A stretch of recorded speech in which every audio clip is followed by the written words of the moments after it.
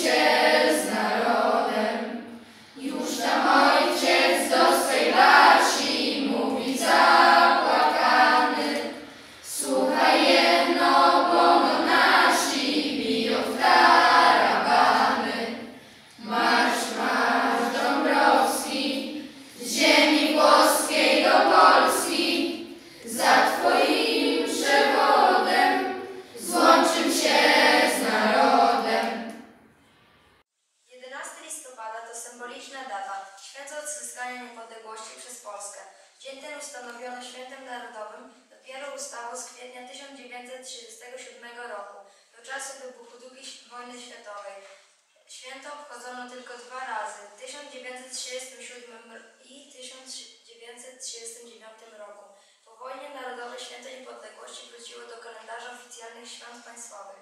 Główne obchody z udziałem najwyższych władz państwowych odbywają się na placu Józefa Piłsudskiego w Warszawie. Znajduje się tam grób nieznanego żołnierza. Jest to symboliczny grób wszystkich bohaterów, którzy oddali swoje życie za wolną Polskę. Jan Paweł II powiedział: Ziemia polska, ziemia trudna i doświadczona, ziemia moja, bądź pozdrowiona. Święta miłości kochanej ojczyzny, czują Cię tylko umysły poczciwe. Dla Ciebie zjady smakują trucizny, dla Ciebie więzy będą niezużywe. Kształcisz kalestwo przez chwalebne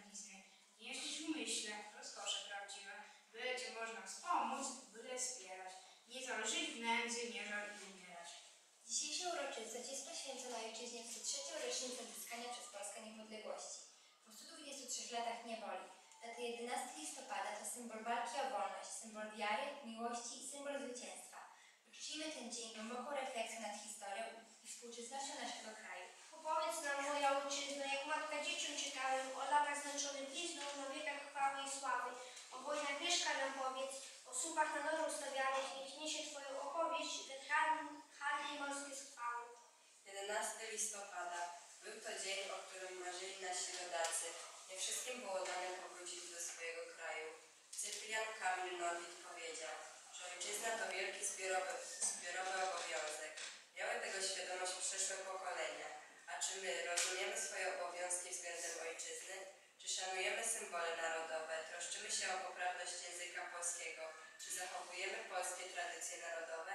Zastanówmy się nad odpowiedzią na te pytania. Do kraju tego, gdzie kruszyny chleba odnoszą ziemi przez uszanowanie dla darów nieba, tęskno mi Panie. Do kraju tego, gdzie winą jest dużo, popsować gniazdo bocianie, bo wszystkim służą. Tęskno mi Panie. Do kraju tego, gdzie pierwsze ukłony są jak odwieczny Chrystusa wyznanie, bądź pochwalony. Tęskno mi Panie. Dzieje naszej ojczyzny nie tylko dni szczęśliwe i spokojne.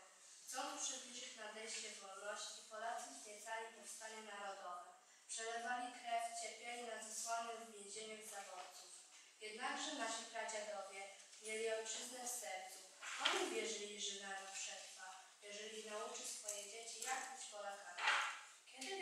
pierwsza wojna światowa, serce Polaków zapłynęła nadzieja, że nadchodzi godzina wyzwolenia. Nasi chłopcy przywdziali mundury i ruszyli do walki. Wierzył, że spełni się ich marzenia. Ojczyzna to kraj dzieciństwa, miejsce urodzenia, to jest ta mała, najbliższa ojczyzna. Miasto, miasteczko, wieś, ulica, dom, podwórko, pierwsza miłość, las na horyzoncie, groby. W dzieciństwie poznaje się kwiaty, zioła, zboża,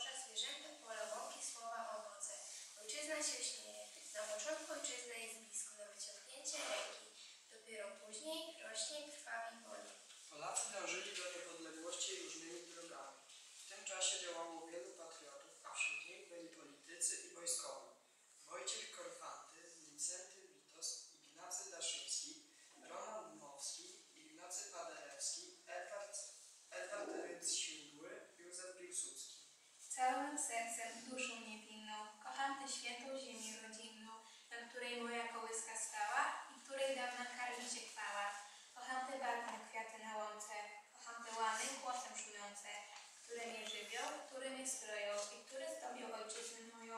Kocham te góry, lasy i gaje, potężne rzeki, ciche ruczaje, bo w tych potokach, w wodzie uzdroja. Ty się przyglądasz, ojczyzno moja, krwią użyźniona, łzach skąkana, tak dla nas droga i tak kochana. 11 listopada to data symboliczna. Mimo wolności Polacy ciągle walczyli o suwerenność. Synom wolności obrazują rozsiane krzyże po ziemiach polskich. Czy zawsze o nich pamiętamy? I cóż powiedzą o tobie słowniku. Lekcje historii i geografii, gdy tylko o niej mówić potrafię. Wszak bzu kwitnący śpiew słowików. Choć jej granice znajdziesz na mapach, ale o treści, co je wypełnia, powiedzie tylko księżyca pełnia. I mgła nad łąką i liści zapach. Pytasz się, synu, gdzie jest, gdzie jest i jaka?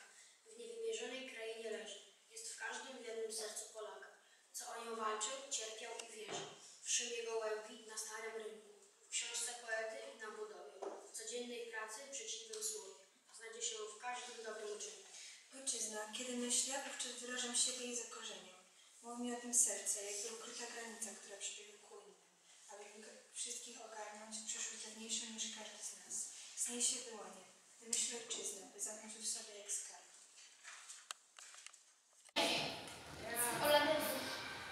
Raz, dwa, trzy, cztery.